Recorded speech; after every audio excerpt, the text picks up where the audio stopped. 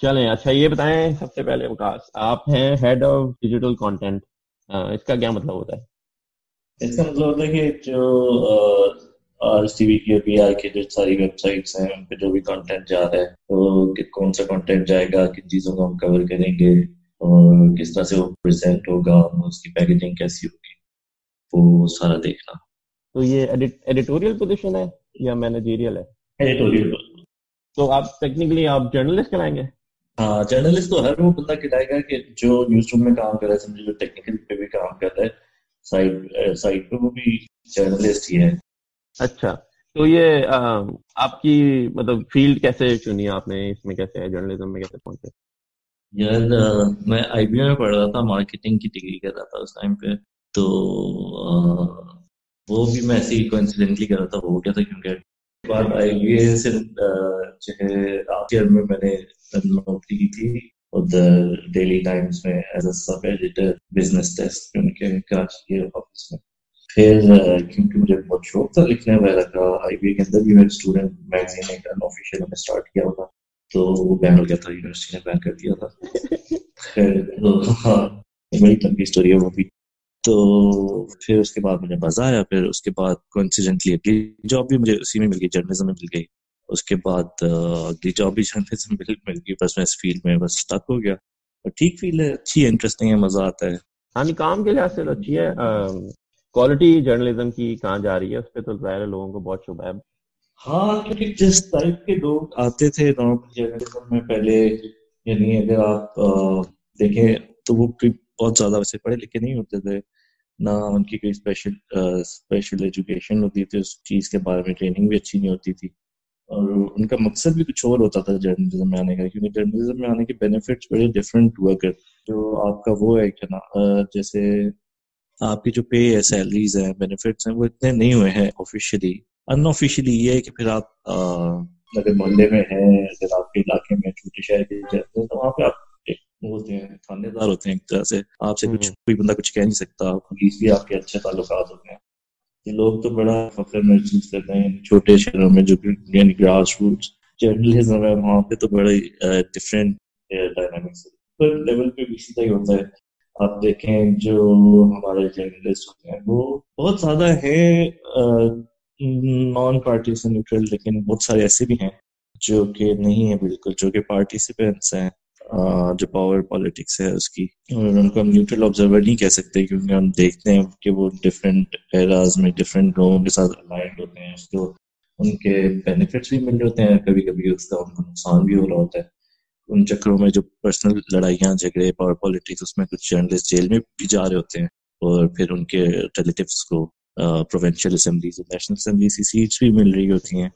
तो आपके ख्याल से जर्नलिस्ट को न्यूट्रल ऑब्जर्वर होना ज़रूरी है? हाँ बिल्कुल तो उसका ऑनेस्ट होना ज़रूरी है। देखें क्या है न्यूट्रल ना हो मगर मगर ऑनेस्ट हो इस बारे में कि मैं न्यूट्रल नहीं हूँ। आपको कभी कभी पोजीशन देनी पड़ती है गुड वर्सेस इवल में। ऑब्वियसली आप न्यूट्रल तो नहीं रह सकते लेकिन उसमें आपको ऑनेस्ट रहना चाहिए। अगर कोई मॉन्स्टर भी है तो उसकी कोई जो बुरी चीज़ें आप बिल्कुल उनको हाईलाइट करें उस तरह से। लेकिन जो सच है वो बताए ना। अब देखें जर्नलिज्म एक फ़ील्ड है क्या? हमारी सोसाइटी में लोगों ने बोला है कि हम कुछ लोग मुख्त कर देते हैं इस काम के लिए कि वो सारी बातें पता कराएँ कि हमारे इर्द गिर्द हो क्या रहा है और हमें उस चीज़ को ऑनेस्टली आके रिपोर्ट करें, हमें बताएँ। इस चीज़ के हम उनको कुछ पैसे देने के लिए तैयार हैं। तो जब आप ये काम नहीं करते और लोग इस चीज़ के लिए आप पे भरोसा करते हैं ये जैसा फायरमैन को हमने बोला कि, यार, हम कुछ लोगों को कहते हैं कि और कुछ ना करो, एक फायर डिपार्टमेंट के दफ्तर में बैठे और जब आग लगेगी, उस आग को आके लोगों ने बुझाना है। इसके लिए हम तुम पे ट्रस्ट करते हैं और इसके लिए हम तुमको सोसाइटी में वैल्यू करते हैं और उसके उसका जो है, उन लोगों से पैसे ले लेते हैं इंश्योरेंस फ्रॉड करते हैं। तो वो जर्नलिस्ट जो कि, या पैसे ले लेते हैं प्योर बेनिफिट्स ले लेते हैं? और पार्टी पॉलिटिक्स में पार्टीसन बन जाते हैं। अच्छा चले। अच्छा ये अभी ना कुछ दिन पहले मैं जरा हटके देख रहा था। तो उस पर एक बड़ा एक उन्होंने बुलाया। अभी कराची की बात जो हो रही थी कल कल या परसों का शो था।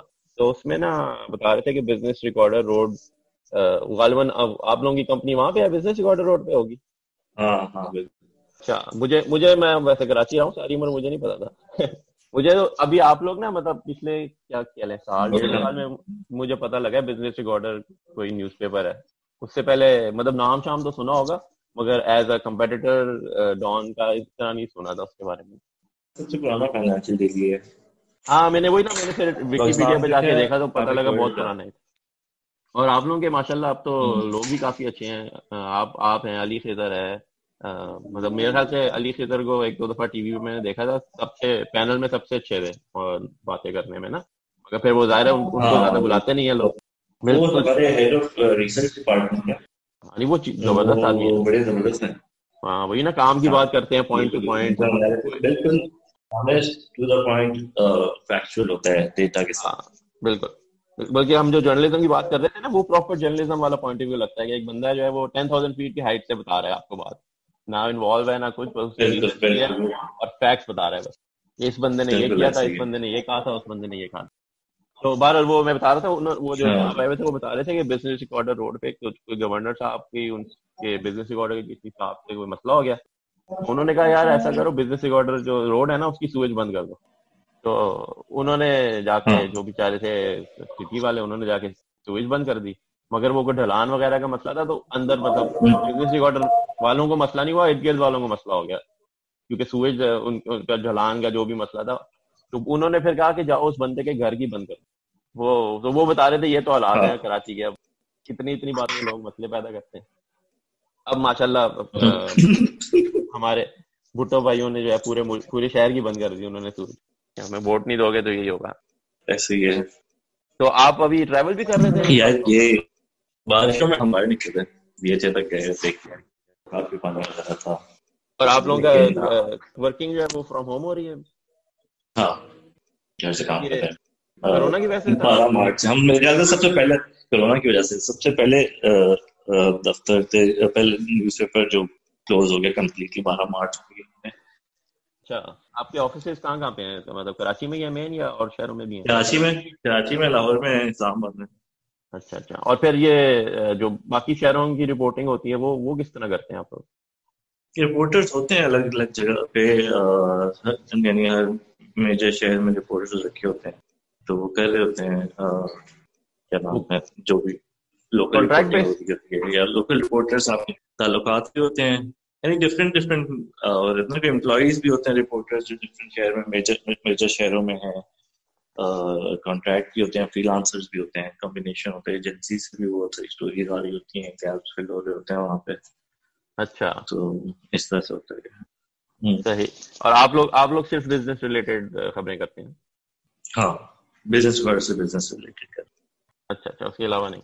लेकिन उसमें बिज़नेस के से रिलेटेड हम पॉलिटिक्स भी अब बिज़नेस से रिलेटेड है इकोनॉमी से रिलेटेड है। पॉलिटिक्स भी हम रिपोर्ट कर रहे होते हैं एंटरटेनमेंट भी रिपोर्ट कर रही होती है लाइफस्टाइल पे भी करेंगे लाइक आपको कंप्लीट वो प्रोडक्ट देना है आपके वेबसाइट पे जो रीडर आ रहा है उसको कंटेंट भी चाहिए होता है। तो वो अच्छा, अच्छा। क्या है उसमें भी कुछ ओरिजिनल रिपोर्टिंग होती है हिस्ट्री से भी होती है। वेब से भी हम रिपोर्टिंग कर रहे होते हैं सोशल मीडिया जो भी पब्लिक इंटरेस्ट चीज़ें होती हैं ट्विटर पे किसने किसको क्या कहा। सही। तो यानी मतलब एक जनरल जनरल पर्पस रिपोर्टिंग है खाली ये इतना नैरो फोकस नहीं है कि सिर्फ़ बिज़नेस रिलेटेड ही होगा। हाँ लेकिन स्पेशलिटी बिज़नेस है फोकस बिज़नेस है। फोकस बिज़नेस यानी यानी पॉलिटिकल इकोनॉमी या फ्रंट पेज जनरली जो है ये होगा बाकी और कंटेंट भी हो सकता है। हाँ लेकिन फ्रंट पेज पे कभी कभी नेशनल इंपॉर्टेंस की ब्रेकिंग स्टोरीज वो तो होना पड़ता है। अच्छा ये बताएँ आपकी आपकी वजह शोहरत एक वो थी जो बॉट बनाया था आपने तो वो ज़ाहिर उसके लिए प्रोग्रामिंग सीखनी पड़ी होगी वो आपको सेरल बॉट हाँ उसके लिए प्रोग्रामिंग जो है वो यूनिवर्सिटी में सीखी थी सेरल बॉट की बात कर रहे हैं हाँ जी हाँ जी सेरल बॉट नहीं नहीं वो तो ऐसे ही मेरा शौक है यूनिवर्सिटी में मार्केटिंग पढ़ी थी वहाँ प्रोग्रामिंग नहीं सिखाते थे। अच्छा बिल्कुल कोर्स वोर्स कोई नहीं था? तो कंप्यूटर साइंस की डिग्री तो नहीं की मैंने। नहीं कोई कोर्स वोर्स नहीं किया लेकिन आ, मैं तब से कर रहा हूँ प्रोग्राम जब यूनिवर्सिटी में था था मैं वेबसाइट बनाता था। अच्छा। और जो मेरी सबसे पहली ज़िंदगी जॉब थी वो ये थी कि जो मैक्रोमीडिया फ्लैश हुआ करता था उस जमाने में। अल्लाह। तो फ्लैश पे एनिमेशन बना के बेचता था वो पंद्रह डॉलर का एक ग्रीटिंग कार्ड बिकता था। हाँ, मुझे मुझे याद है मुझे। बहुत फन था। स्कूल टाइम की बात है। स्कूल टाइम पे फिर हमने एक वो बनाया था मैंने और मेरा एक दोस्त था हमने मिलके बनाया था V R M L time पे एक चीज़ होती थी V R M L V R M ये होता था कि आप वेब ब्राउज़र पे वर्चुअल रियलिटी दिखा सकते थे थ्री डी लैंडस्केप और थ्री पूरा मॉडल्स बना सकते थे। वो सबसे पहला था वी आर एम एल अब मर भी गया बहुत पुरानी चीज़ है टेक्नोलॉजी लेकिन बड़ी एडवांस टेक्नोलॉजी है उस जैसी चीज़ अभी मैंने दोबारा नहीं देखी। तो अब तो मेरे ख्याल से अगर वी आर गॉगल्स पहन के अच्छा उसमें आप मॉडल कर सकते थे ना पूरी लैंडस्केप ब्राउज कर सकते थे वेबसाइट वेब ब्राउजर्स के अंदर। अब उसकी जगह मेरे ख्याल से यूनिटी थ्री डी वगैरह ये काम कर सकती है जो गेम्स वगैरह बनती हैं। तो इसमें सिर्फ़ आप एक्सप्लोर अराउंड कर सकते थे थ्री डी वगैरह। तो अगर आप समझे आईफल टावर का पूरा मैप बना दें पेरिस का बना दें तो आप रोम अराउंड कर सकते थे उसमें उस टाइप की तरीके से और उसको बनाने की जो लैंग्वेज थी उसको कहते थे V R L V R M L virtual reality modelling language तो उसमें हमने वो बनाया था फिर हमने इंटर कॉलेज कंपटीशन जीता था। वाह। तो हम फ़र्स्ट आए थे कराची के अंदर हाँ काफ़ी इंप्रेसिव था वो। कंपटीशन क्या उसके बाद मैं मार्केटिंग में चला गया। Inter college web design competition अच्छा वेरी गुड लेकिन वो बचपन की चीज़ें थी। फिर उसके बाद लेकिन मैंने कंटिन्यू रखा। डिग्री में मार्केटिंग में करता रहा लेकिन साथ साथ में प्रोग्रामिंग करता रहा। पीएचपी सीखी पाइथन सीखी जावास्क्रिप्ट सीखा। सही। और ये मशीन लर्निंग में कैसे घुसे? मशीन लर्निंग कुछ भी नहीं है। वो बॉट के अंदर ना अब मशीन लर्निंग की यानी आप पाइथन का आप थोड़ा बहुत भी आती है तो आप उसकी मशीन लर्निंग की नॉर्मल लाइब्रेरीज जो हैं उनको आप यूज़ कर सकते हैं। तो मुझे मशीन लर्निंग सीखने की ज़रूरत नहीं है कि मैं थर्ड पार्टी लाइब्रेरी यूज़ कर रहा हूँ जिसमें ऑलरेडी बहुत सारा काम हुआ है। तो मुझे बहुत कोई एक्सपर्ट नहीं हुआ है प्रोग्रामिंग वगैरह में। बिल्कुल बेसिक या इंटरमीडिएट लेवल का उतना कि मेरा गुजारा चल जाए। इतना कि मैं library third party library use कर सकूँ और जो ऑलरेडी बिल्ट फ्रेमवर्क्स हैं उनको यूज़ यूज़ कर सकूँ। लेकिन ये आपकी जनरल प्रोडक्टिविटी में इतनी स्किल हो तो आपको बड़ी काम आती है चीज़ है ना हाँ। ये आपका आपका टाइम बहुत कम हो जाता है। जिस तरह एक मैंने सुनी की थी न्यूयॉर्क टाइम्स के आर्टिकल्स एनालाइज किए थे। अच्छा। तो पाकिस्तान के बारे में ना? पाकिस्तान की वो ये था कि न्यूयॉर्क टाइम्स ने पूरे 2019 के साल में तो नहीं 2018 के या 2019 का मुझे याद खैर पूरे साल में जो पाकिस्तान के बारे में रिपोर्टिंग की है वो पॉजिटिव थी या नेगेटिव ऑब्जेक्टिव थी या सब्जेक्टिव और आपने उसके लिए लर्निंग मॉडल बनाया था कोई? बताया एमएल एमएल हाँ एमएल की थर्ड पार्टी लाइब्रेरी इसमें अब इस तरह किया था कि हम मैंने डेटा स्केप किया था सारा न्यूयॉर्क टाइम्स का। जितने आर्टिकल्स पाकिस्तान के बारे में छपे हुए हैं उनको डेटा बेस सेव किया था फिर उसके हर सेंटेंस के ऊपर सब्जेक्टिविटी एनालिसिस रन किया था वो थर्ड पार्टी लाइब्रेरी थी और उसके ऊपर वो एनालिसिस किया था सेंटिमेंट एनालिसिस किया था हर सेंटेंस के ऊपर। फिर उनके एवरेजेस निकाले थे। जनरली कितनी सब्जेक्टिव है और कितनी पॉजिटिव या नेगेटिव है उनकी कवरेज पाकिस्तान के बारे में। और वो फिर उसके क्या किया डेटा का ऑथर भी निकाला था। उसके पेपर ऑथर भी निकाला था कि हर ऑथर कितना ज़्यादा सब्जेक्टिव कौन सा है ऑब्जेक्टिव कौन सा है नेगेटिव कौन सा है पॉजिटिव कौन सा है। पूरी लिस्ट बनाई थी। उनके उनके फिर ट्वीट्स भी निकाली थी। हर आर्टिकल से रिलेटेड जो भी ट्वीट्स आई हैं उन ट्वीट्स के क्या सेंटिमेंट्स हैं। तो जनरल ओवरऑल उस आर्टिकल ने क्या सेंटिमेंट पैदा किया था ट्विटर पे? और उनके सारे टेबल्स वगैरह ये सब ये सब इंक्लूडेड था उसमें। और वो पब्लिश किया क्या? कहाँ गया वो? हाँ वो पब्लिश किया था डेली पाकिस्तान के ऊपर किया था। लेकिन उसको क्योंकि वो इतना कॉम्प्लिकेटेड था उसका कोड कि वो हमारे नॉर्मल वर्ड प्रेस के साथ इंटीग्रेट नहीं हुआ हुआ था सही से। तो वो पाइथन के ऊपर था। तो अच्छा। इसके इस वजह से वो अलग सब डोमेन पे था labs dot Daily Pakistan dot com dot P पे। तो खैर जब मैंने दिल्ली पाकिस्तान छोड़ दिया उन्होंने अपने वेबसाइट को ट्रांसफ़र किया from WordPress to custom C M S उसमें वो लॉस्ट हो गया। अभी भी किसी एक यूआरएल पे आर्काइव पड़ा होगा। हाँ कहीं ना कहीं तो होगा।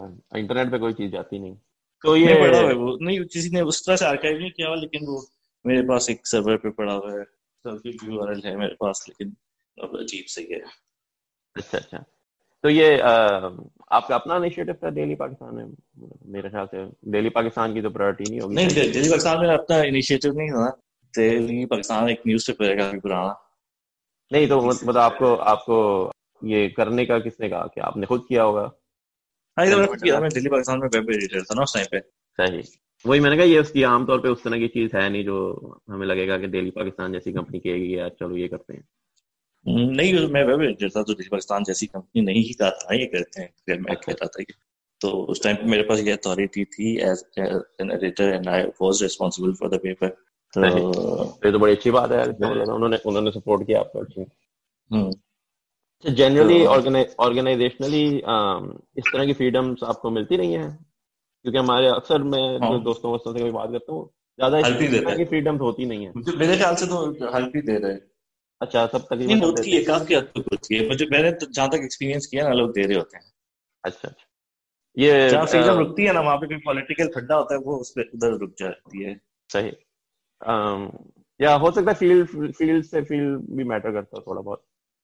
हाँ जर्नलिज्म थोड़ी सी टेक्निकली हाँ। वैसे तो होनी चाहिए लिबरल फ़ील्ड होनी चाहिए ना मतलब आपको जरा बाउंड्री ब्रेकिंग की थोड़ी सी तो है भी काफ़ी हद तक। होनी चाहिए।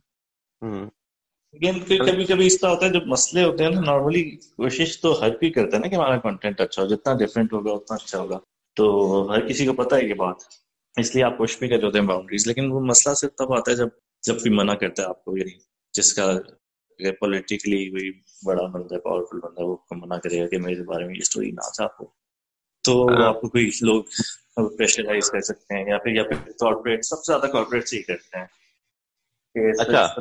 खराब खबर चल गई तो प्लीज़ उतार दें प्लीज़ उतार दें क्योंकि यार एजेंसियाँ आपके पीछे पड़ जाती हैं। तो आपको कहते हैं कि हमें एड्स नहीं देंगे आपको ये डायरेक्टली बोलते नहीं है लेकिन ऑब्वियसली होता है वो एड्स आपके रोक लेते हैं। सही। तो फिर आपके मार्केटिंग डिपार्टमेंट आपको प्रेशराइज करता है कि देखो इन्होंने ऐड दिया था कल तो इनकी स्टोरी उतार दो आप। अच्छा तो ये ये तो ये चीज़ होता है। ये काफ़ी कॉमन है ये बात। ये हर न्यूज़पेपर में है। अच्छा। जर्नल से आप कुछ आप पूछे वो डिनाई नहीं करेगा ये बात। और ये आप आपके मुताबिक ज़्यादा पर्सनल नहीं है मतलब इंडिविजुअल्स नहीं करते कॉर्पोरेट लेवल पे ज़्यादा। हाँ। अच्छा तो मतलब ज़ाहिर आपने ऑब्वियसली एक्सपीरियंस किया होगा फिर ये अपने स्टोरीज वगैरह में भी। हाँ ऑब्वियसली इसलिए मैंने भी किया हुआ इसलिए मैं तो ये डिमोटिवेटिंग नहीं होता? क्योंकि मुझे अपने अपने एक्सपीरियंस में ये होता है बहुत ज़्यादा होता है। जब कोई मना करता है ना फिर बहुत खार आती है। या उस हाँ, तो आता है। यार पहले करने ही ना देते यार इससे तो बेहतर।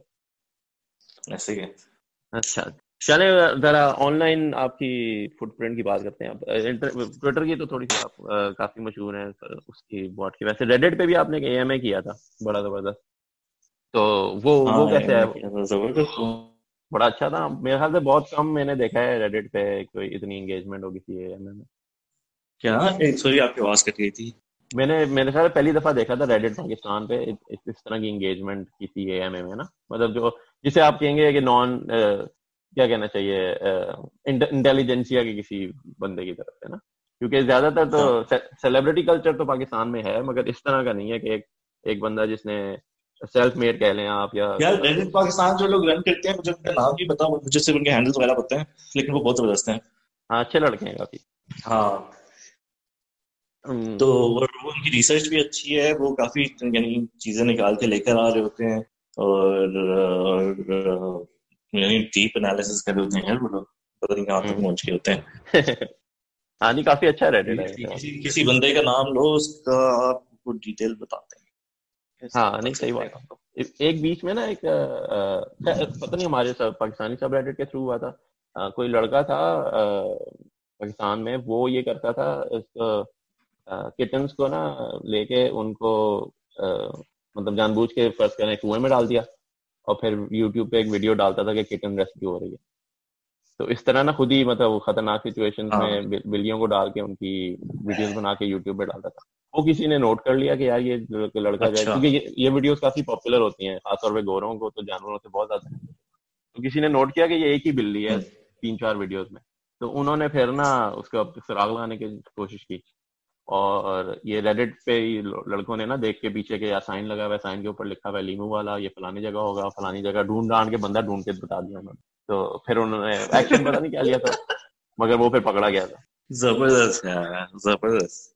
अगर वो हाँ, इस तरह की चीज़ें जब ये लोग मिल के काम करते हैं रेडिट वाले तो इनसे बेहतर कोई भी नहीं ट्विटर को पता ही नहीं पाओ रेडिट ही क्या है बहुत सारे ट्विटर पे लोग बेचारे काफिल हैं हाँ. इस पूरी सिचुएशन से मेरा ख्याल है पर्सनली रेडिट में एक जो बहुत बड़ा फ़ायदा है वो एनोनिमिटी का है कि आप जो है ना जो मर्ज़ी हाँ. कह लें आप अपना बिल्कुल सेंसिटिव करने की ज़रूरत नहीं है आप नया अकाउंट बनाए आप वही बात हाँ, कह लें हाँ. और व्यूअरशिप का भी इशू नहीं है क्योंकि ट्विटर पे तो ये है ना एक्सट्रीमिस्ट मिलते हैं आपको रेडिट पे। रेडिट पे एक्सट्रीमिस्ट भी ज़्यादा है बिल्कुल इस वजह से। हाँ। अब जिस तरह वो जो मोदी सपोर्टर्स की सब रेडिट्स हैं संगीज की उसमें क्या गंद चल रहा है हाँ बिल्कुल। आ, मगर ये ये चीज़ आप ट्विटर पे आ, करना बहुत ज़्यादा मुश्किल है ना। हर हर हर ट्वीट के लिए आप नया अकाउंट बनाएँगे फिर फॉलोअर्स चाहिए तब कोई सीरियसली लेगा। हाँ। वहाँ ये है कि वहाँ सिर्फ़ पोस्ट की वैल्यू के ऊपर या अब रिपोर्ट भी तो हो जाता है ट्विटर पे ट्विटर पे। ट्विटर पे रिपोर्ट भी हो जाता है। हाँ। तो इस इस तरह के फ़ायदे तो हैं रेडिट पे बात फिर ये कि लॉन्ग फॉर्म है ट्विटर का फॉर्म जो है वो जरा ज़ाहिर है आपको लिमिटेड रखना पड़ता है। ट्विटर पे लंबी लंबी पोस्टें लंबी डिस्कशन थ्रेड्स अच्छे होते हैं। हाँ सही बात है। अच्छा, अच्छा आप लोग मुश्किल होता है उनको। तो ये मीडियम का बात है ना। हाँ सही बात अच्छा मैं ट्रो, ट्रो, ये जो है जर्नलिस्ट आजकल ट्रोलिंग के बारे में बहुत परेशान है कि ट्रोलिंग बड़ी होती है। ये ट्रोलिंग होती क्या है?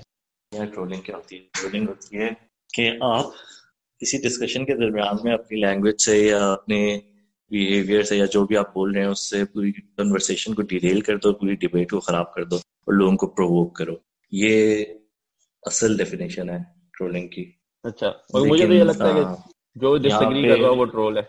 हाँ ये यहाँ पे तो ये बनाया हुआ ना इन्होंने कि जो भी डिसएग्री कर रहा है जो भी क्रिटिसाइज कर रहा है फैक्चुअली कर रहा है जैसे भी कर रहा है वो सारे ट्रोल है। अब ट्रोल्स तो एग्जिस्ट करते हैं इंटरनेट पे। असल में हर हर किसी के नीचे आए होते हैं हर किसी ने फेस किए मैम आपको पता है ट्रोल्स हैं लोग दबे होते हैं कभी आप ट्रोल होते हैं कभी लोग ट्रोल होते हैं। हर बंदा ट्रोल हो चुका है हर बंदे के साथ ट्रोलिंग हो चुकी है। सही बात। तो हाँ, उसका वो अलग मसला है यार वो बड़ा गहरा मसला है। उसमें आप क्या कर सकते हो मैं करता हूँ कि कभी कोई कोई किसी जर्नलिस्ट ने या किसी बंदे ने कोई गलत बात बोली ट्विटर पे जो कि फैक्चुअली ठीक नहीं है तो मैं उसके नीचे जाके अगर मैंने लिखा कि असल में फैक्ट्स नहीं है, नहीं, आपने टेन परसेंट बोला हुआ असल में ये फोर परसेंट है, और ये लिखा है ना। नीचे कोई और बंदा जो मेरा फॉलोअर है लेकिन वो कोई इतना अच्छा इंसान नहीं है, इतना इंटेलिजेंट नहीं है, वो आ जाएगा हाँ कुत्ते के बच्चे लिफाफे। आज ने तुझे सही नंबर बता दिया आपको पता मेरा फॉलोअर है, ठीक है, वो बंदा ठीक है, उसको मैं मैं भी अच्छा लगता हूँ, ठीक है, वो कहता है कि मैं ठीक जर्नलिस्ट ठीक है, जो मेरा पॉइंट ऑफ़ व्यू है उस पॉइंट पे ठीक है is going to do it in a very bad way तो अब मैं कहता हूँ, यार, मैं क्या करूँगा? ये, अब फिर वो बोलेगा कि देखो ट्रोल आ गए ट्रोल आर्मी आ गई है, और ये और वो। तो उस बंदे को मैंने तो नहीं बोला है ट्विटर पे यानी अजीब भांत भांत के लोग हैं ना हर किस्म का बंदा बैठा हुआ है ट्विटर पे और कोई बंदा किसी के लिए रिस्पॉन्सिबल तो नहीं हो सकता कि उस बंदे ने ये बोला तो के लिए मैं रिस्पॉन्सिबल हूँ। तो हाँ नहीं मुश्किल जैसे हज़ारों लोग हैं हर पार्टी के लोग हैं हर पार्टी के सपोर्टर्स हैं हर पॉलिटिशियन के सपोर्टर्स हैं ऐसे। हाँ ऐसे ही है। मेरा ख्याल है अच्छा जो जनरली ना इन्होंने एक नैरेटिव बना हुआ है कि पीटीआई के सपोर्टर्स हैं वो ज़्यादा ट्रोल हो। तो मेरा ख्याल है हुआ ये है बेसिकली कि ट्विटर पाकिस्तान में जब मशहूर हुआ है तब पीटीआई के यूज़र ज़्यादा थे या या वो जनरेशन ज़्यादा थे। क्योंकि आप कहीं भी देख लें अमेरिका की ट्विटर देख लें सब ट्विटर ऐसे ही है। हर जगह यही काम होता है। मगर बस वो हमारे उनके ख्याल में ये है कि चूँकि अब ये लोग ट्विटर पे कर रहे हैं तो ये पीटीआई के थ्रू हो रहा है वरना नहीं हो पाता। हाँ। दूसरा ये कि ये जो के भी हैं बिल्कुल हैं पीटीआई के बिल्कुल है। मतलब पीएनपी के भी हैं पीएमएलएन के भी हैं। नहीं मेरे किसी के मेरे ख्याल में बिल्कुल सब होंगे सबके मगर मेरा पॉइंट ये है कि वो नैरेटिव बिल्डिंग जो है ना वो वो इस दौर में पीटीआई पे नजला ज़्यादा इसलिए गिरा है कि वो इतफाक से उनकी टाइमिंग मैच कर गई है ट्विटर पे लोगों के आने से। अगर अगर ट्विटर उन्नीस सौ निन्यानवे में मशहूर होता है इतना तो हो सकता है कि वो फिर डायनामिक्स कुछ और होते ट्विटर क्या मतलब? मतलब उस वक्त सपोर्टिंग उस वक्त गवर्नमेंट कोई और होती ऑपोजिशन कोई और होती तो बिहेवियर और तरह के होते हैं ऑपोजिशन में जो होते हैं या या हाँ, हाँ, डिफरेंट हाँ, रिवर्स हो जाता है यही होता उस टाइम पे उन्होंने शोर मचाया होना था कि देखो अब हमें वो किया जा रहा है हम और हमारे जर्नलिस्ट को के साथ पावर जो है ऑपरेस कर दिया हमें। बिल्कुल वही ना वो वो साइड चेंज हो जाती हैं कहानी सेम रहती है बस किरदार बदल हम्म। जाते हैं थोड़े बहुत। हाँ, हाँ। अच्छा एक और जो आ, मैं खुद भी इस बारे में मुझे कोई खास क्लैरिटी नहीं आई वो डॉक्सिंग जो है इंटरनेट पे। मुझे परेशान कौन काफ़ी लगती है। मुझे बल्कि बल्कि कहीं कहीं ना फ़र्ज़ करें कोई एक एक कोई वाक्य हुआ था, इन्होंने एक लड़का पकड़ा था किसी बात में। तो उन्होंने ना, पुलिस वालों ने उसकी तस्वीर लगा दी और साथ लिख दिया कि ये लड़का जो है फलाने मोहल्ले का रहने वाला, हमने इसको पकड़ लिया। तो मैंने कहा, चलो, तस्वीर लगा दो एड्रेस देने की क्या ज़रूरत थी? ये लड़का यहाँ रहता है। बिला वजह जो है, वो एक की बंदे की प्राइवेट इंफॉर्मेशन जो है, वो वो शेयर कर ली गई मगर दूसरी तरफ़ कई लोग ऐसे हैं हम्म। जो जो ट्रोलिंग वगैरह करते हैं और हमें पता भी है कौन है और वो मतलब जैसे कह, जैसे कहते हैं सेमी अनोनिमस है ना मतलब आपको अकाउंट पे नाम नहीं है मगर बाकी हम्म। सब डिटेल्स आपको है कौन है अब वो मुझे समझ नहीं आती हाँ। आती तौर पे कि वो लाइन कहाँ है जब ये हम एक पब्लिकली नोन इन्फॉर्मेशन से प्राइवेट इंफॉर्मेशन की डॉक्टरिंग में पहुँच गए नहीं वो तो कभी भी नहीं कहनी चाहिए तो किसी केस में भी नहीं कहनी चाहिए लेकिन ये देखो अभी आपने केस बताया वो बिल्ली वाला बंदा जो था जो बिल्ली के साथ करता था। हाँ हाँ बिल्कुल। वो भी डॉग ही हुआ ना। वो डॉक्सिंग ही हुई बिल्कुल। आपने उसकी प्राइवेट इन्फॉर्मेशन ढूंढ के। मैं वही कह रहा हूँ ना ये ये ये ये जो ग्रे एरिया है ना ये, मुझे समझ नहीं आता। ग्रे एरिया नहीं है देखो आपने डॉग्स नहीं करना प्रिंसिपल ये है कि आपने डॉग्स नहीं करना। आपने जो बंदा इंफॉर्मेशन प्राइवेटली लीजिए अपनी पर्सनल वो आपने लीजिए इंटरनेट पे। आप अथॉरिटी से बता दो अगर कोई बंदा गलत करते हैं। आप पुलिस को बता दो डॉग्स नहीं करते आप पुलिस को बता दो अगर वाकई भी हार्मफुल चीज़ है इलीगल चीज़ है पुलिस इन्वेस्टिगेट कर, कर लेगी। लेकिन उसको पब्लिक करना। तो सही बात। नहीं तो अच्छा तो प्राइवेट इन्फॉर्मेशन है क्या? शक्ल प्राइवेट नहीं है? क्या? मतलब मैं किसी की तस्वीर अगर दे देता हूँ जैसे मैं फ़र्स्ट करें वो जो मुजरिम का बता रहे हैं ना उसकी तस्वीरें तो अवेलेबल होंगी। अगर मैं वो तस्वीर शेयर करता हूँ क्या वो डॉक्सिंग है? या कोई ऐसी information address share address share करूँगा तो डॉक्सिंग है मान लिया ठीक है? क्योंकि वो ऐसी इन्फॉर्मेशन है हाँ। कि एक बंदा वो एड्रेस लेके जाके गुस्सा या कुछ भी कर सकता है। मगर क्या उसकी हाँ। तस्वीर शेयर करना भी डॉक्सिंग कहलाएगी मतलब वो वो लाइन का है कि अच्छा ये वाली प्राइवेट इन्फॉर्मेशन जो आप है आप शेयर कर सकते हैं ये वाली नहीं कर सकते। वो लाइन बड़ी क्लियर है। ना? uh, मेरा भी यही ख्याल है। हाँ. कि केस टू केस जो है मुझे लगता है कि एक केस में मुझे लगता है कि यार ये कर लेना चाहिए था एक केस में लगता है नहीं करना चाहिए। मसलन मैं मैं हाँ, हम नॉर्मली हम फिर वो इसी पे बात पे डिसाइड कर सकते कर होते हैं कि हमारी अपनी मोरालिटी क्या है।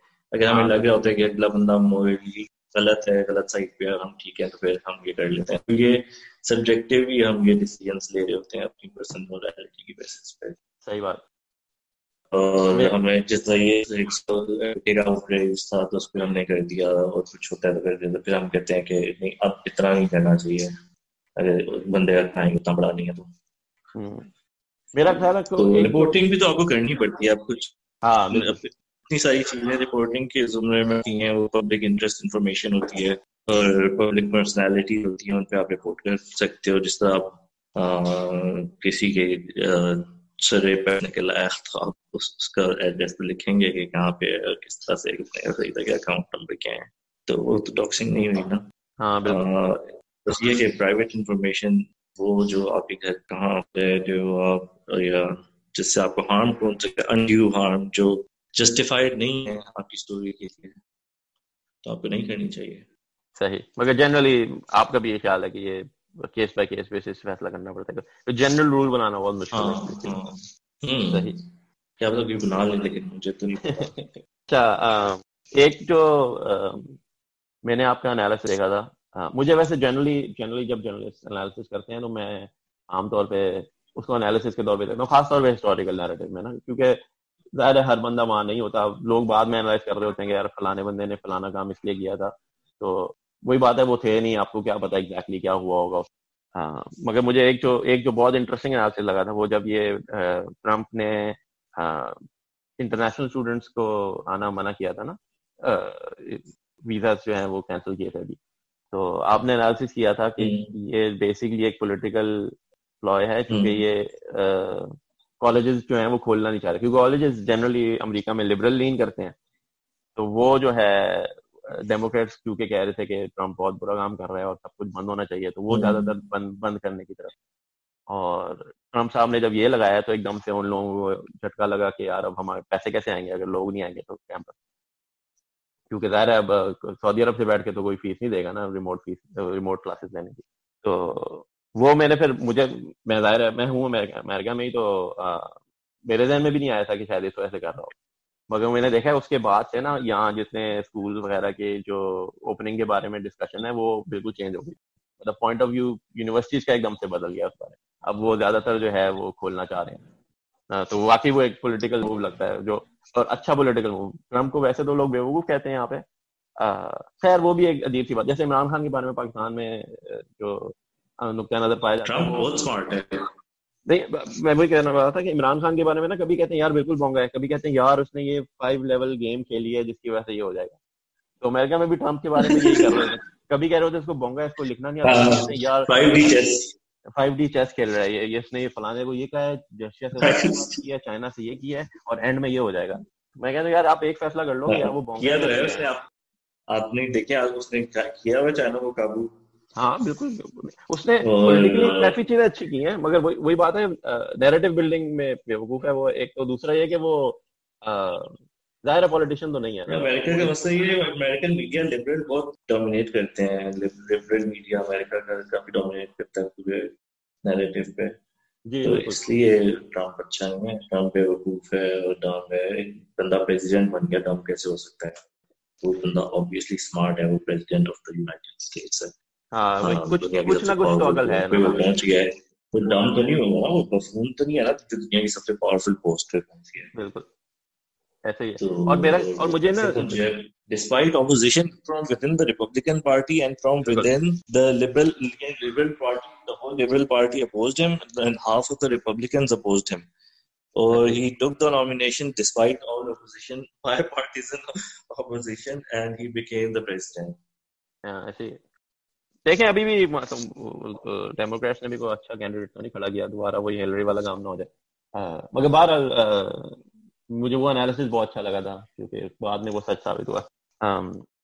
और उस तरह का एनालिसिस मेरे ख्याल है आपने ट्विटर पे किया था, मगर मैं जो जनरली जर्नलिज्म वगैरह में इस तरह के एनालिसिस हमें कम नज़र आते हैं। एक एक आम सी, छोटी सी खबर जिसका इतना बड़ा जो है आम लोगों के लिए यहाँ पे ज़्यादा कॉलेज गोइंग लोग जो हैं, उनके लिए इतना हम्म। लेकिन देखना पड़ता है यार ये चीज़ें तो बड़ी कभी कभी ऑब्वियस होती हैं। हाँ बिल्कुल। बाद में बाद में लगता है ना ऑब्वियस है। जब कोई कह दे फिर लगता है यार बहुत ये तो बहुत ही ऑब्वियस ही बात हाँ, अच्छा। कभी कभी आपको होता है ना रैंडम थॉट हिट करती है कि अच्छा ये इस तरह से कितना फनी है।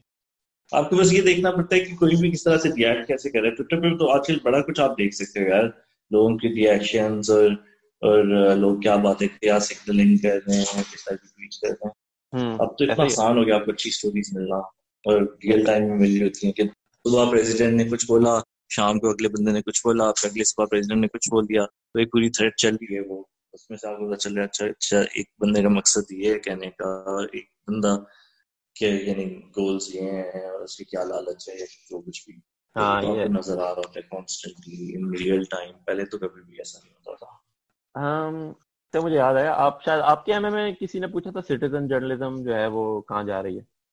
और मेरा ख्याल मेरा ख्याल है हाँ, आपने कहा था हाँ, हाँ, तो वो सिटीजन जर्नलिज्म बोला कि सिटीजन जर्नलिज्म कहीं नहीं जा रही।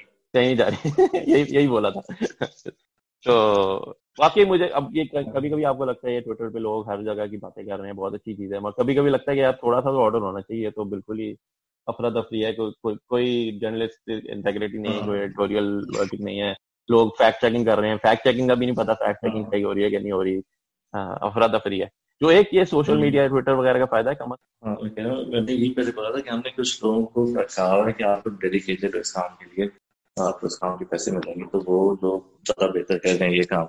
जो सिटीजन करते हैं वो रैंडमली जो दिल की ख्वाहिशात या या शक वो सारे लोग कर लेते हैं। उनको पता नहीं होता कि क्या ज़रूरी आप रिपोर्ट की अब उस उसमें लोगों क्योंकि ये नहीं पता ना कि न्यूज़ किस तरह से रिपोर्ट करनी चाहिए इसलिए लोग बेवकूफ़ भी बड़ी जल्दी बन जाते हैं। तो इसलिए जिस तरह जिस तरह की अहमद वाली स्टोरी है हाँ। अंदर उसने बहुत सारी चीज़ें यानी बढ़ा चढ़ा के बताई गई जो आपको साफ़ पता चल रहा है।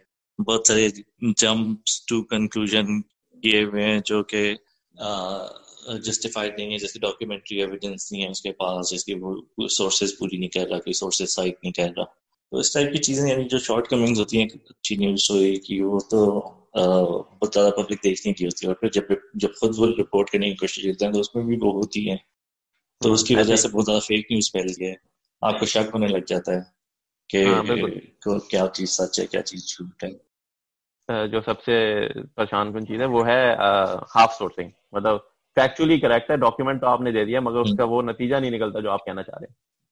और ये इस स्टोरी में भी हम्म। ज़्यादातर इस तरह की ना कि फैक्चुअली तो ठीक है समझ आता है अच्छा है भाई ये ठीक है इसकी इनकम इतनी बढ़ गई इतनी वैल्यू हो गई वे हो गई मगर आपने आपने नतीजा ये अखज किया है कि ये पैसा यहाँ से आया है वो उसकी आपने कोई जस्टिफिकेशन नहीं मतलब फिफ्टी परसेंट तो आपने फैक्ट हाँ, दिए मगर बाकी फिफ्टी हाँ, परसेंट ना दरमियान में?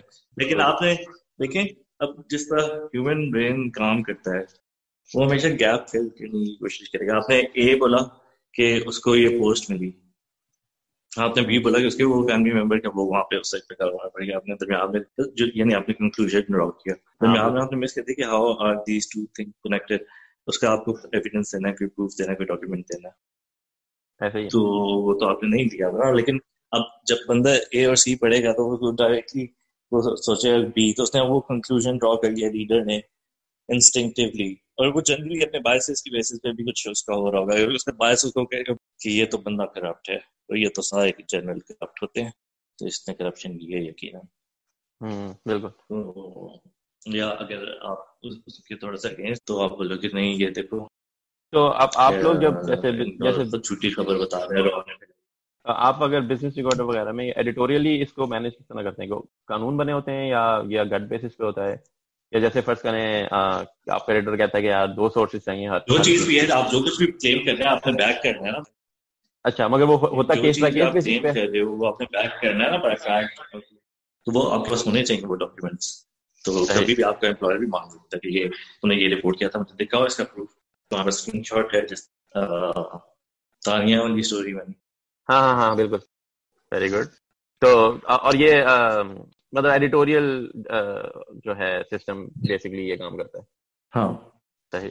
और मतलब ये ये ट्विटर वगैरह पे ज़ाहिर है वो भी आउट ऑफ़ द विंडो ज़ाहिर अगर आ, आ, आम बंदा वो पकड़ के वही कोई चीज़ पब्लिश कर दे बगैर किसी फैक्ट चेकिंग के कोई कोई पूछ नहीं सकता। और और आम बंदे के लिए जैसे मेरे जैसे के लिए हमें जाती तौर पे डिफ्रेंशिएट करना बहुत मुश्किल है कि ये जो है बिज़नेस रिकॉर्डर के एडिटोरियल टेस्ट के थ्रू हो क्या ये? मैं ये कह रहा था कि जो आम बंदे के लिए ये डिफ्रेंशिएट करना मुश्किल है कि फलानी चीज़ एडिटोरियल डेस्क के थ्रू हो क्या आई है या नहीं आई? उनके तो जो आप ना ऐसे किसको बोलते हैं? इतने सारे लोग हैं जो व्हाट्सएप फॉरवर्ड एक दूसरे को कर रहे होते हैं। वो भी तो पहला था कि एबटाबाद में एक लड़का पैदा हुआ है। जैसे होती उसने बोला है कि चाहे रात को बारह बजे से पहले पहले चाय का कावा बना के पियो तो कोरोना खत्म हो जाएगा। अच्छा तो वो वो सही काम नहीं किया वो? वो काम किया इसीलिए तो बता रहा कोरोना खत्म हुआ किधर है मैं मैं यही कहने वाला था कि फिर तो इसका मतलब सही साबित हो गया चूँकि कोरोना नीचे जा रहा है तो हमें बीच के डॉट्स मैच करने की ज़रूरत तो नहीं है ना? एक दो दो फैक्ट्स मिल गए हैं। नहीं है देखिए देखिए उसने ये बोला था? सारा रात को बारह बजे से पहले कावा पिया जिस जिसने रात को बारह बजे से पहले कावा पिया वो शुक्राना नहीं हुआ। वो पूरा एहसान है। आप जो है अपने ट्विटर पे अक्सर अपनी कुकिंग भी शेयर करते हैं। तो आपका क्या रेगुलर हाँ। कुकिंग करते हैं घरेलू खाना या स्पेशल ओकेजन इस तरह नहीं मुझे शौक नहीं है यानी कुकिंग मैंने इसलिए शुरू की थी क्योंकि मुझे सर्वाइवल की लिए ज़रूरी थी। कुकिंग एक स्किल है जो आपको आनी चाहिए हर बंदे को आनी चाहिए। इम्पोर्टेंट ह्यूमन स्किल है। वो इसलिए मैंने शुरू की थी जब मैं लाहौर में रहता था पहले अकेला रहता था पाकिस्तान के लिए काम करता था। मैं खाने बनाता था। ऑब्वियसली अगर चलो आप खाना बना ही रहे हैं और आपने खाना ही अपना खाना तो क्यों ना आप वो खाना अच्छा बनाए ताकि आप जब खाएँ तो आपको मज़े का लगे तो, इसलिए फिर मैं वो वीडियोस वगैरह देख के मैंने शुरू किया। ठीक है कुछ मज़े की चीज़ें बन जाती हैं। एप्पल पाई की तस्वीरें मेरे इस टाइप की चीज़ें। और ये मतलब आपने यूट्यूब से ही सीखा जनरली ये बड़े होते हुए हाँ। मतलब घर घर में साथ इन्वॉल्व नहीं होते अम्मी से भी सीखे मैंने। अम्मी से भी सीखा। मैंने भी मैं भी ज़ाहिर है हम जब अकेले रहना पड़ता है तो सीखना ही पड़ता है। तो पहले पहले तो ज़्यादा वो होता था कि भाई अम्मी को फ़ोन किया अम्मी ने लिखवा दिया वो बना लिया और आहिस्ता आहिस्ता बेहतर होता गया। मुझे वैसे जाती तौर पे ये हुआ है महसूस हुआ कि जो कुकिंग में दो चीज़ें ना एक तो रेसिपी और एक टेक्निक है। वो टेक्निक जो है वो आने में टाइम लगता है। जो रेसिपी है वो तो आप हम जैसे भी थोड़े हाँ। दो तीन दफ़ा ट्राई करके ना रेसिपी जो टेक्निक होती है ना वो जो बेसिक स्किल्स है ना। काटना चीज़ है, किस तरह काटने की, किस तरह से मिक्स किस तरह से करनी है फ्राइंग के बेसिक्स हैं बॉइलिंग के बेसिक्स हैं, हर चीज़ को किस तरह से बॉइल करना है क्या हर चीज़ की एक कुछ ना कुछ चीज़ होती है स्किल्स होती है ना तो वो आपका हाथ भी सेट होता है, आप आप आपके मसल सीख रहे होते हैं, वो सारी वो फिर टाइम थोड़ा सा लगता है लेकिन एक दफ़ा आप कर लेते हो वो कर आपने क्रॉस कर लिया तो फिर उसके बाद आप कुछ भी बना सकते हो, फिर आप रेसिपी देखते हो, जिस तरह म्यूजिशियन वो नोट्स पढ़ के फिर कुछ भी बता लेते हैं, जब उसको नोट्स पढ़ने आ जाते हैं। हाँ बिल्कुल। मेरी अम्मी बाज़ार से भी कभी चीज़ लाऊ ना तो वो हाँ चक के थोड़ा सा ना बता देती हैं स्ट्रेस में ये डला हुआ ये डला हुआ फलाने का जाके फलाने का जाके हाँ मुझे ज़ाहिर अभी तक वो वो, वो बातें नहीं आई। हालाँकि हम टेक्निकली देखा जाए तो हम बाहर के खाने ज़्यादा खाते हैं और हमें जो हमारी जनरेशन है वो उसके पैलेट जो है वो ज़्यादा वेरिड है। मगर हमें जो है उस तरह उस हम्म। तरह फीलिंग नहीं है खाने की जिस तरह हमारे जनरेशन हम्म। और अच्छा तो आप यूट्यूब पे तो खास चैनल से सीखा था? वजिया कुकिंग तो नहीं था? नहीं यार लेकिन मैं मैं गूगल करता हूँ कि मुझे रेसिपी चाहिए होती है जब मैं कुछ बनाने में जाता हूँ सुबह बस जो भी ग्रोसरीज में करके लाता हूँ। तो अच्छा। फिर मैं देख लेता हूँ गूगल पे गूगल पे जो यूट्यूब पे रिज़ल्ट आ रहा होता है एक यूट्यूब पे मैं सर्च कर लेता हूँ चाहिए कैसे बनाते हैं। तो जो पहला टॉप रिज़ल्ट होता है वही मैं देख लेता हूँ। वो मुझे बहुत पसंद है विलेज कुकिंग सीक्रेट्स हाँ village cooking secret Mubashar Mubashar हाँ। हाँ वो ज़बरदस्त आदमी है। हाँ।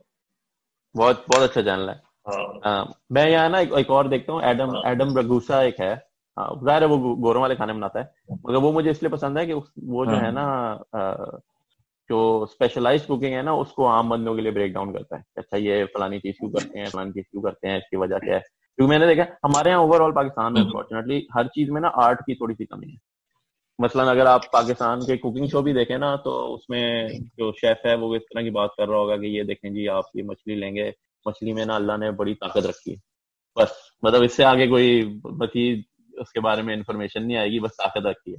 तो वो ये एडम रघुसा या एक और है Alex Alex the French guy वो लोग जो है ना वो इससे आगे जाते हैं ना। वो कहते हैं अच्छा ये आप फलानी मछली लेंगे तो चूँकि सॉल्ट वाटर में है तो उसके कंटेंट में ये होगा कैलोरीज इतनी होंगी ये ये खाती हैं। इस तरह की ना साइंटिफिक डिटेल्स बताते हैं।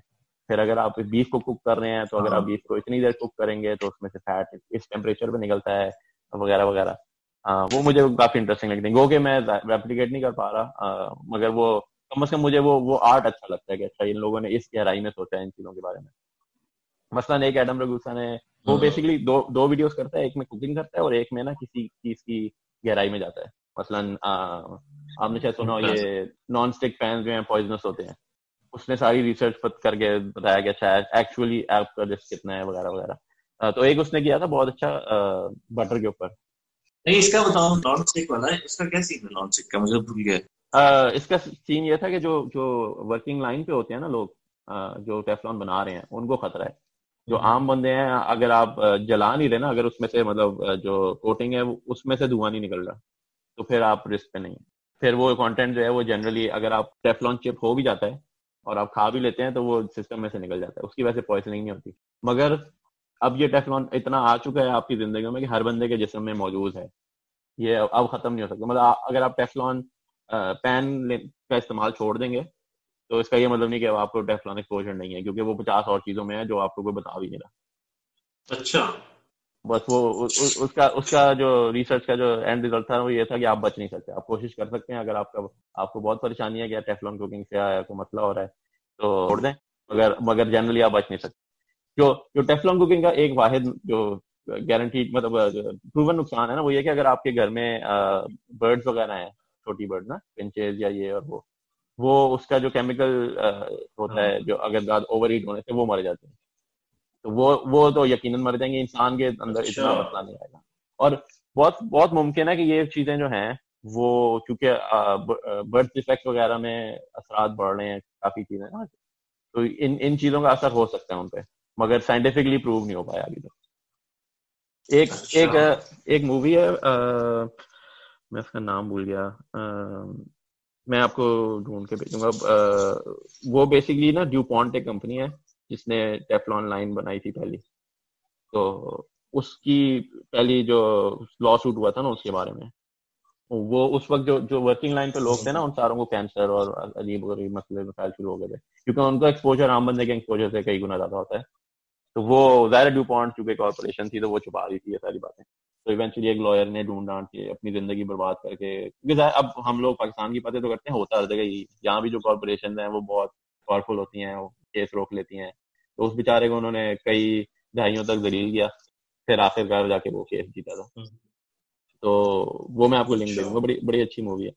तो वो टेफलॉन बेसिकली मुझे एग्जैक्टली exactly याद नहीं किस डेकेड की बात है मगर तब से हर चीज़ में तकरीबन शामिल है तो अब आप बच नहीं वैसा हम्म, दुआ ही कर सकते हैं यार हम पे हम पे असरात ना है हमारे बच्चों पे असर आतना है या फिर अपना सिंध हुकूमत के बारे में भी यही ख्याल है और टेफलॉन के बारे में भी यही ख्याल चलें मेरी लिस्ट तो पूरी हो गई। टेफलॉन तो कम से कम कन्वीनियंट है। सिंध हाँ। हुकूमत तो वो भी नहीं है। सही बात है। पता नहीं मुश्किल है यार ये सारी बातें। अब मैं मैंने स्टेनलेस स्टील पैन लिया था तो वो टेफलॉन याद आता था।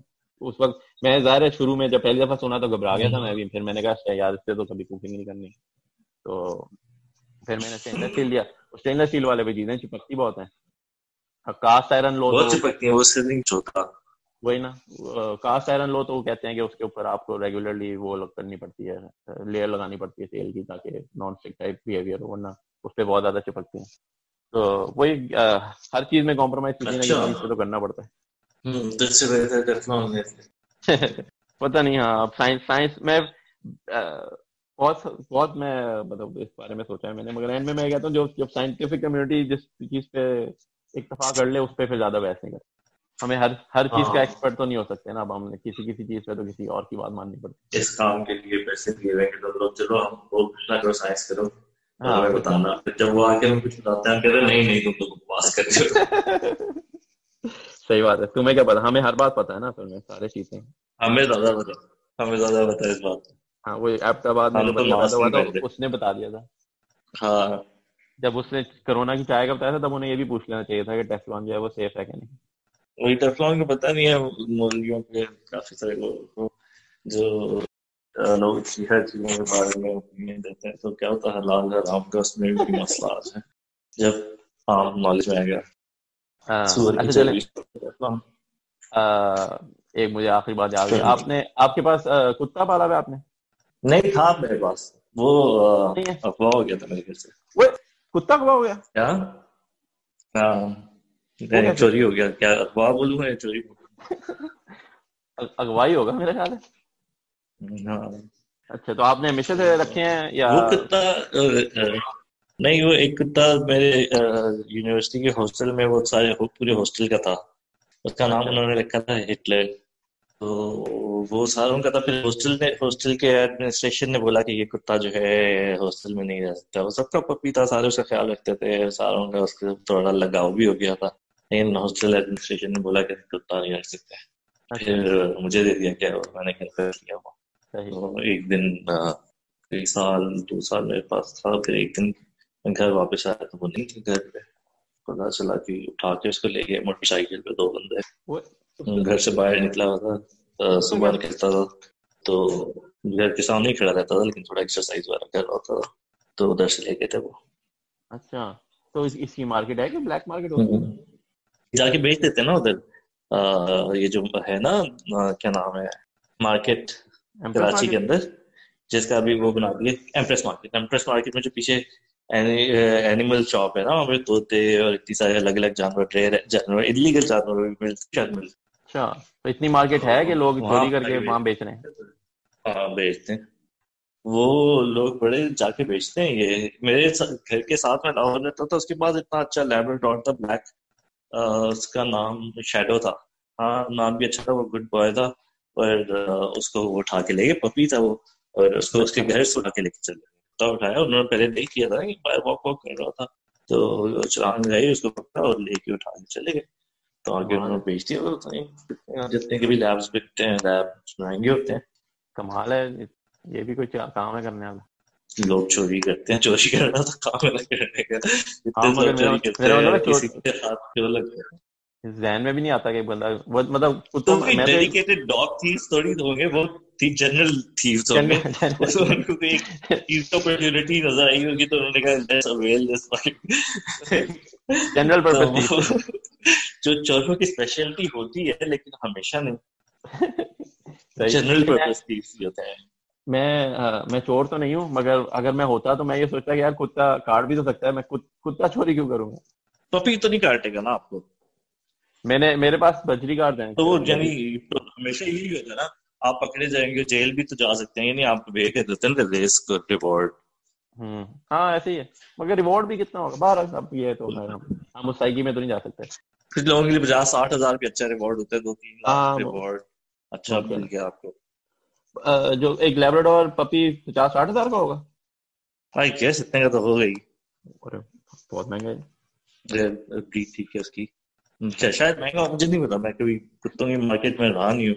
मैं कभी अगर जानवर रखता है तो वो वो रेस्क्यू या रैंडम ही रहा है तो। वैसे आपको पेट्स का शौक है?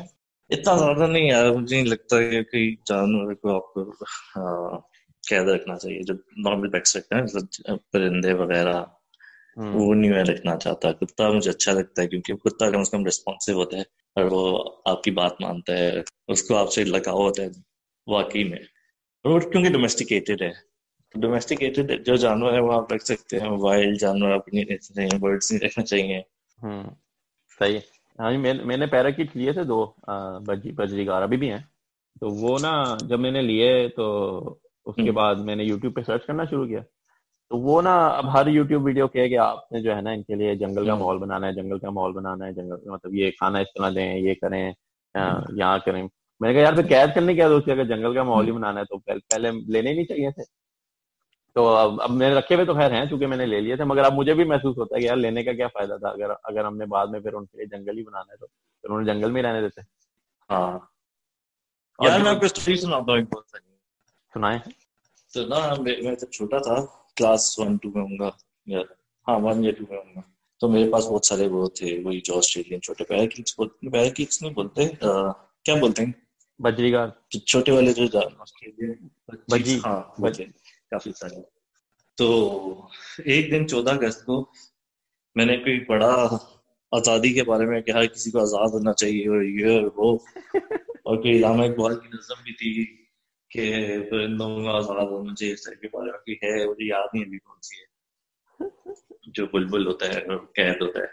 तो मैंने सोचा कि मुझे इन सबको आज़ाद कर देना चाहिए ना। वो एक बड़ा सा पिंजरा था उसमें सारे थे वो तो मैं बाहर गया मेरे घर में एक लॉन था उसमें मैंने वहाँ सामने वो पिंजरा रखा और मैंने कहा कि चौदह अगस्त है और मैंने सब इनको भी आज़ादी दे रहा हूँ मैंने उनका दरवाज़ा खोला और वो उड़ के गई और वो उड़ के आसमान में गई एकदम से चीले और में